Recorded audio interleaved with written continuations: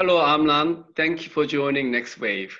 Thank you. Thank you, Young. Happy to see you, even though it's remotely, but it's always a pleasure to see you. So Mobileye, which is one of the pioneers, company really drove the whole concept of a safer driving uh, and enable people to think possibility of autonomous driving. And I know you've been involved in this for a long time. I've been in your car already several, several years ago, and uh, I remember test driving and uh, what the possibility is. So maybe you can give a perspective of where it had been in terms of uh, a Mobileye journey and where we are today and where we are going. Well, first, I invite you again to come and drive our test cars. it's now really, it's really magical uh, the way the, the, these cars uh, handle themselves. Now, I, I think one, one needs to take a step back and just understand what is the nature of this challenge. And then if you look at products today, there are two types of products. One, one family of product is very, very sophisticated from a technological point of view, but low accuracy. means they can fail often and it's fine, like you know, a PC, like a smartphone. These are very, very sophisticated uh, engines and products, especially from a software, hardware, embedded uh, point of view, but they can fail and it's okay if they fail. The second family of products are not so much sophisticated, but very, very, but very accurate. It means they, they, they fail rarely. And an aircraft, an airplane, is an example of such a of such a product. Now, the, tolerance for failure is, is basically zero, and it's not that sophisticated. You know, the, the aerodynamics are things that are known from for more than a century. Uh, autonomous driving is both. You have to be very, very sophisticated. We're talking about cutting edge silicon, cutting edge software, cutting edge data driven algorithms, cutting edge AI. So very, very sophisticated, but on the other hand, very, very accurate. The tolerance for failure is is is almost uh, zero. And then this is where where the, the conundrum. This is where the big challenge uh, is. So we, we are kind of building this in, in, in several layers. The first layer is defining what is the mean time between failure. You know, what makes sense in terms of uh, an MTBF of a perception system? What makes sense of an MTBF of a decision making uh, process? You decided to change lane and you did it in a um, in a uh, not a, a safe uh, manner and there's an accident, what is the probability of something like this uh, happening? So we develop technologies around it. One of them is, is RSS, Responsibility Sensitive Safety, which uh, uh, attempts to standardize uh, the decision-making process of a robotic engine and reach consensus with regulatory bodies in terms of how do you define um, the border between recklessness and carefulness and once a robotic engine knows what it means to be careful, it can then follow this uh, um, consistently. So this is this is one big uh, one big challenge. Another one is to define the mean time between failure and a perception system, and we do that through redundancy. So we build redundant uh, systems. So for example, at Mobileye, we have a, a subsystem of only cameras, just cameras doing an end-to-end experience of autonomous driving. And then we have a separate system, just radars and LiDARs doing an end-to-end, no cameras at all, doing an end-to-end, and then bind them in order to reach a, a very redundant and very, very low mean time between failure. Second challenge is scalability. Now, eventually, the holy grail of autonomous driving is consumer level, where you buy a car, pay an option uh, price of a few thousands of, uh, of, dollars, and then whenever you want, you sit in the back seat or you go to sleep. Uh, for this, you need scalability. You need to be able to drive everywhere. And one of the limiting factors in this is, is maps, high definition maps. So we have a technology, crowdsourced uh, uh, technology, which many of our production vehicles from uh, many of our OEM uh, partners are sending data to the cloud and, and we build high definition maps. Just recently, we launched a test site in Munich where the entire, where with 5,000 kilometers of roads being mapped completely automatically, just through crowdsourced uh, data. And uh, we have uh, um, uh, our customers, like car makers, go and test this car, and it's really magical. Third one is regulation you know, accidents will happen. No matter what you do, accidents will will, will happen. Um, and then the question is, is how, how is this going to be handled from a regulatory point of view? You know, there, there's criminal liability, there's financial uh, liability. Uh, one needs regulatory uh, certainty in this area. And this is also an area that we're very active, working with regulatory bodies around the, around the globe in order to reach a consensus of a regulatory certainty in order to enable autonomous driving. This is, this is a major, major point. And the fourth and last challenge is how do you build a business, a viable business, when you're talking about a development that could take many, many, many years.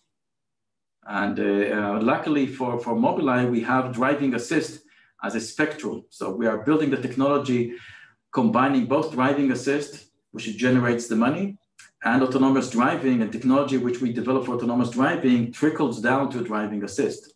Uh, recently, we announced with the Geely in, in China a system we call SuperVision, which would be launched uh, next year, August, September next year in, in China, which with 11 cameras around the car, two EyeQ5s, which is basically productizing our camera subsystem of our AV, develop, of our AV uh, development.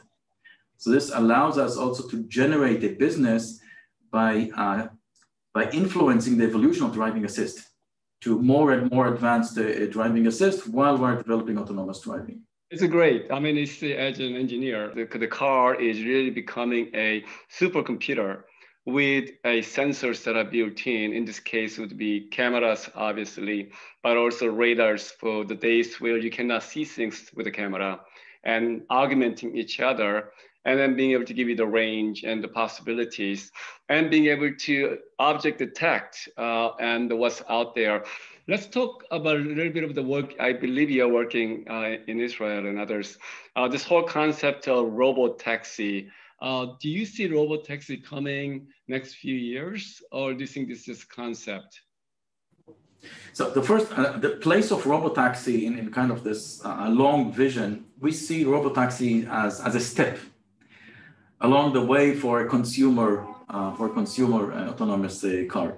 It's a step because there, there, there, are certain limitations that are very helpful. One is that the tolerance for cost is not that high. You can put a system that costs say ten, tens of thousands of dollars in a car and it's still viable from a business perspective if you are uh, shuttling people uh, like a ride hailing and, and, and ride uh, sharing.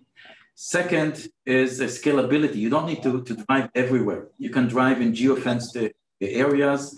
Uh, you know, describe a polygon of say uh, 100 kilometers square and you provide a robotaxi service only in that polygon. It still makes sense from a business uh, perspective. And third, from a regulatory point of view, it's easier because you are, you are regulating a fleet and not a consumer. So regulating a fleet, all sorts of reporting responsibilities, back end, teleoperations, all sorts of things that the regulator can put on a fleet. And it's very, very difficult to put on a, on a, on a, uh, on a consumer uh, product. So this is why robotaxi seems like a very attractive step because it can build its own business, you know, ride hailing and ride sharing uh, by removing the driver and saving about 80, 85% of the operating costs of today's ride hailing and, and, and ride sharing, sharing. And it's a corridor to eventually reach a consumer level uh, product in which you and I can buy a car, a few thousands of dollars extra option, maybe if it's even $10,000. For a few thousands of, of dollars, buy a car and whatever you want, sit in the back seat. But we believe that to get to that point, robotaxi is a very, very useful and, and advantageous uh, uh, step. So we are, we are uh, building that capability. For that reason, we also purchased Moovit uh, half a year ago. Uh, at the heart of the pandemic, we, we, we purchased Moovit. And together with Moovit, we're building this end-to-end, Mobileye building the self-driving system, uh, self-driving vehicle, and then Moovit is building all the remaining layers from the customer experience, uh, fleet optimization, mobility intelligence, in order to provide the service. And we're going to, uh, we have regulatory support in Israel. We're working on reg regulatory support also in other places. And we believe that 2022, we can start removing the drivers from a fleet of about 100 vehicles in Tel Aviv. Wow. So this is really a mobility as a service uh, in a way, because robot taxi is enabling, let's say, uh, enabling tool, but also you're adding the applications and management tools on the top of it so that you can be able to provide end-to-end experience as a way to um, improve the capabilities and also testing the possibilities of removing the most expensive part of the uh, Uber economy, I guess. Now, are you thinking Mobileye as a technology enabler, or are you thinking of actually going all the way to end-to-end service? No, we, we are building all the way end-to-end, but then, but then we'll make a decision uh, at, the, at, the, appropriate time what to license, where to partner, what to do end to end all ourselves. But the technology will be built end to end, including the customer experience. And then through uh, partnerships and, and licensing, uh, we can then uh, extend this from a business uh, perspective in a way that makes, uh, that, that, makes sense, kind of reaching a right balance between capital and partnerships. Very interesting. I'm going to watch this one very carefully. Let's talk about another subject. I'd like to get your pers- perspective about where is Orcam, where is it going? We founded the company back in 2010 with, with my partner uh, Ziv, Ziv Aviram. Um, I think both Mobileye and Orcam is looking at AI at the edge, right? So Mobileye, all the AI is being computed in real time in the car, not in the cloud. The same thing with uh, with Orcam.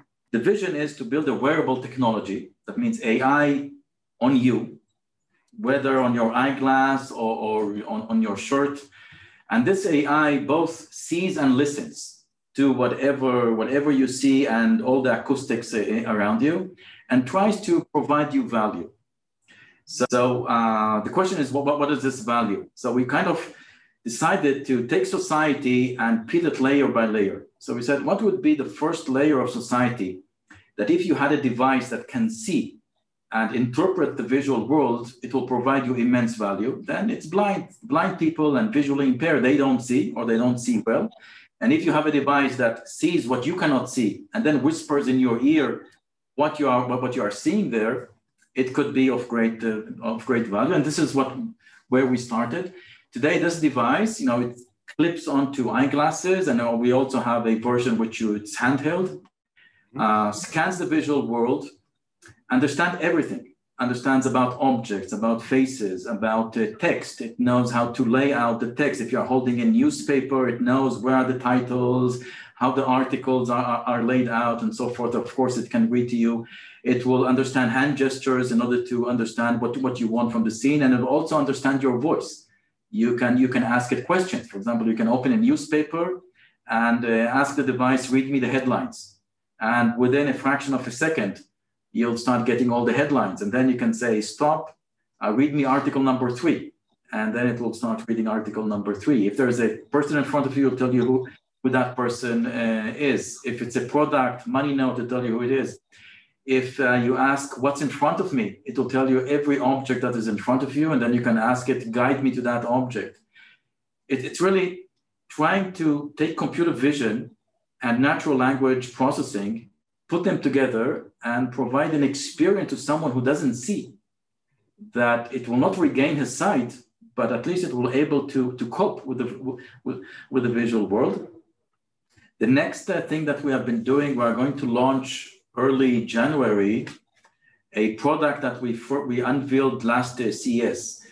It, it's, it's really magical. The idea is to, uh, it's called the cocktail party problem helping people that have hearing disabilities or even mild hearing disabilities.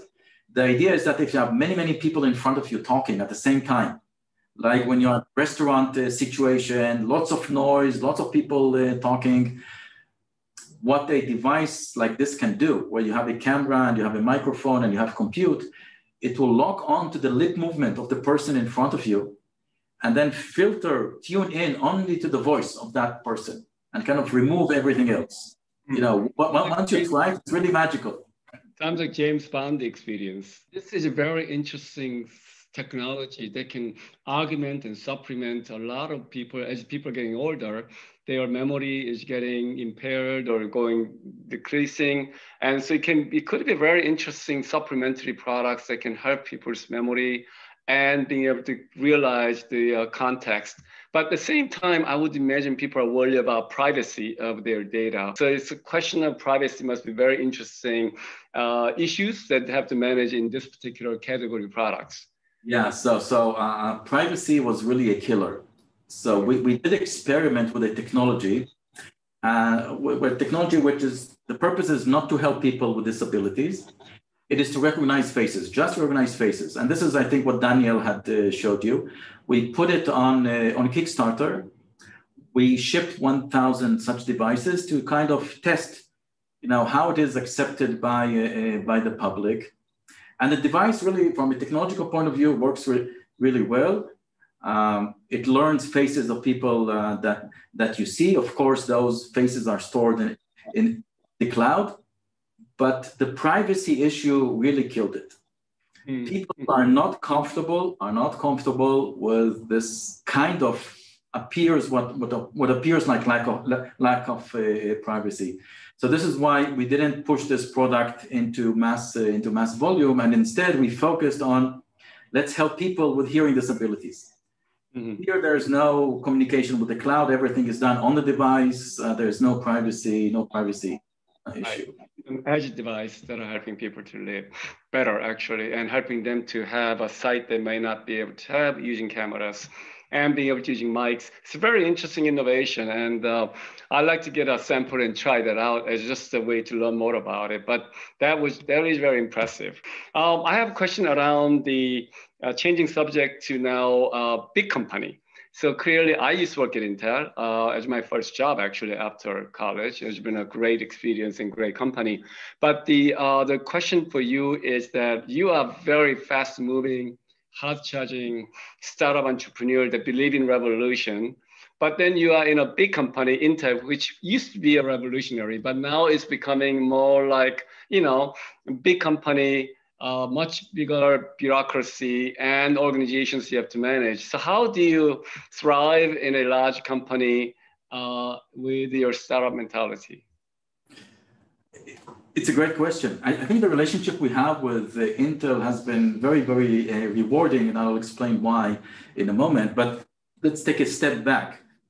You know, when you are a subsidiary of a, of a large corporation, you have this kind of sense of security but I, I, I quickly learned that this sense of security could be overrated. You really need to think as a startup. You need to, uh, you know, in order to, to do something meaningful in life, you have to be hungry.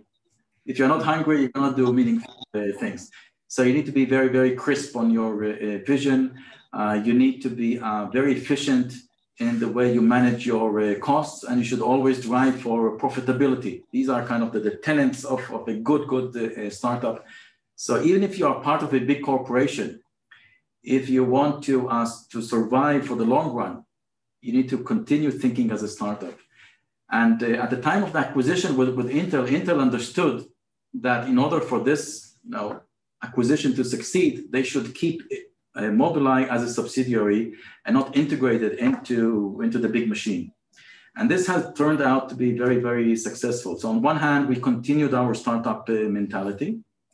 On the other hand, we, it was like going into a candy store where we looked at what Intel has that we can start, uh, uh that we can start using. And we built a division we called IC.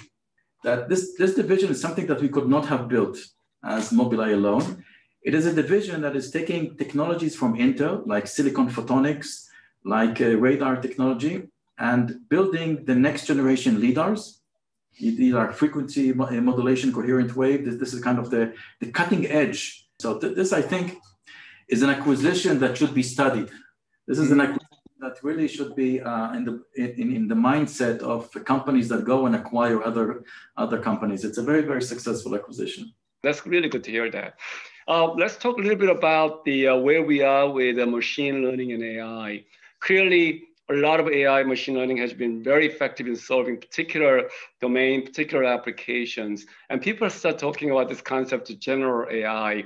And I like to, uh, because given your background as a professor and expert in AI at the Jerusalem University, I'd like to get your perspective around where is it going and where are we today and where we're going on this general AI perspective. Well, actually, we are in the midst of a revolution.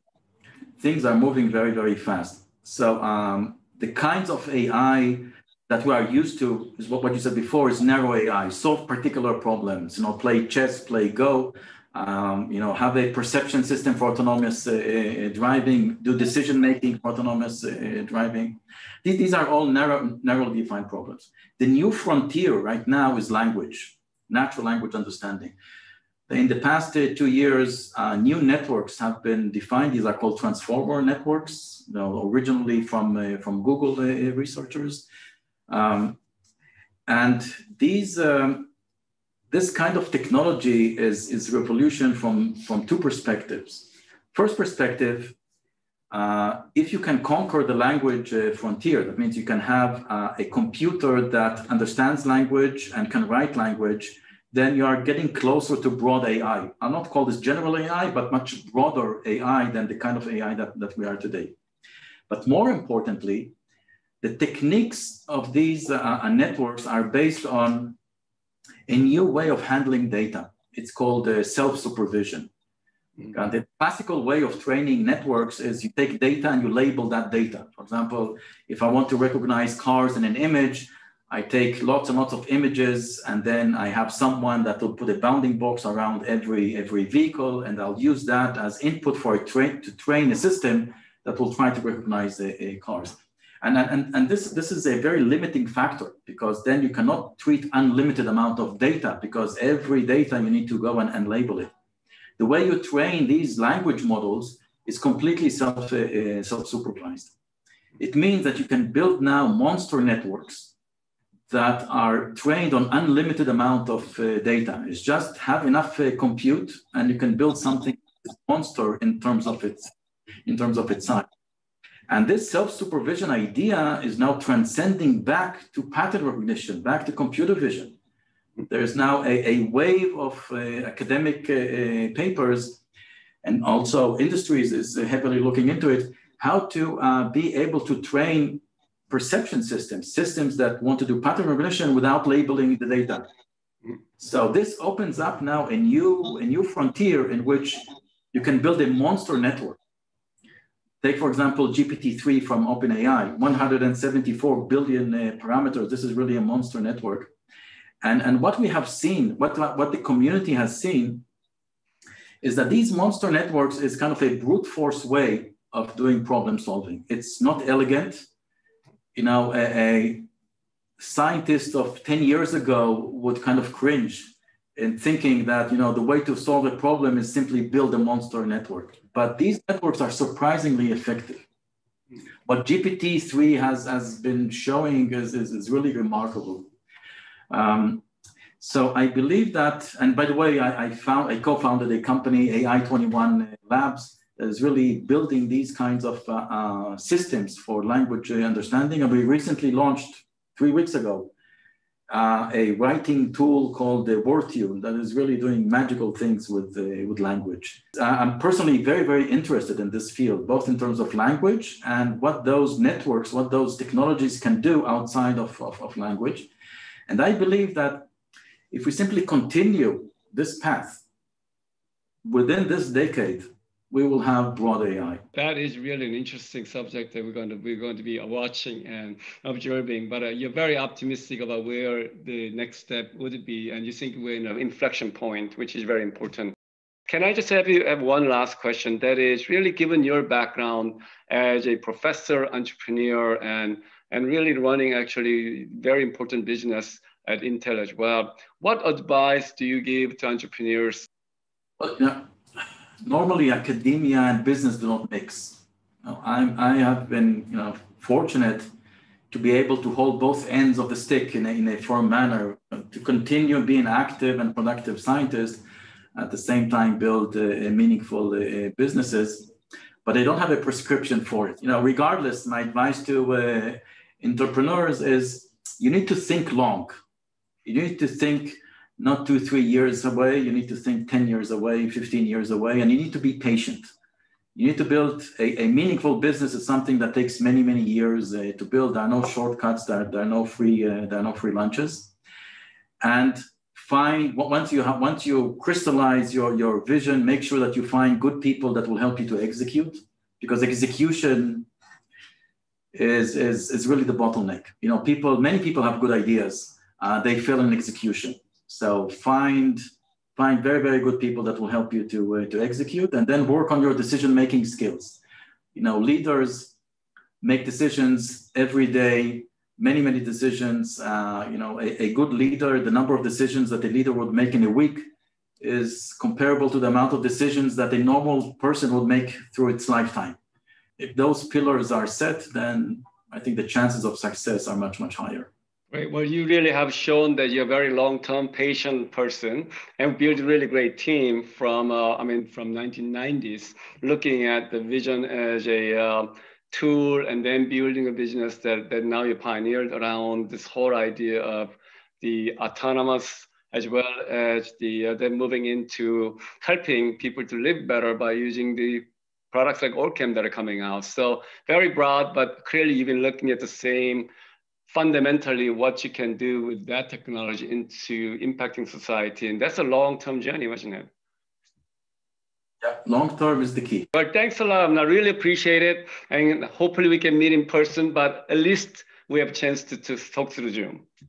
Very good. Looking forward for your visit, Young. Okay, great. Thank you.